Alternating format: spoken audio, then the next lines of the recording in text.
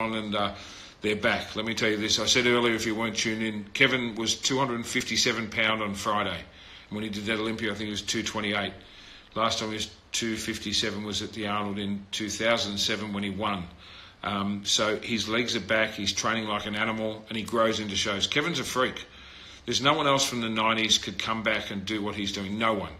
And if you ask all those guys from that era, whether it's Flex or Shawn Ray or Chris Cormier, or any of those guys that were on top of their game back then, they'll all say the same thing. LeBron Levrone's the only guy that's ageless, and he can come back and do anything. So I'm, I'm so excited, you know, to, to welcome him on stage. He's a great mate of mine, but we've sort of, you know, I saw him at his first Mr. Olympia in 1992 in Helsinki, Finland. And uh, we kind of clicked, and we've been been tight ever since. We've been through some highs and lows, and you know, the two guys that have been there for me through some really trying um, things, you know, from family breakups to, you know, lows to being broke to um, fighting my demons over the years. And I keep it real here, I don't hide anything that I've been through. Um, they're the guys that have reached out to make sure I'm okay every single time.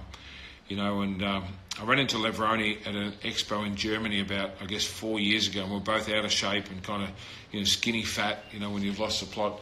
And we both said to each other, let's get back in shape.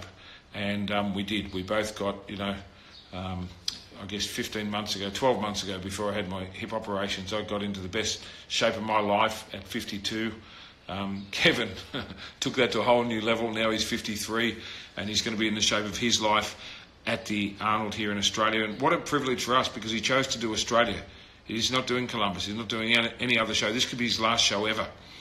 So I want the Australian fans to do this with me. Is when I announce Kevin Levrone onto the Australian stage, I just would mean so much to me and to the sport for the historical value and the passion of the sport that we love is to give the dude a standing ovation when he walks out.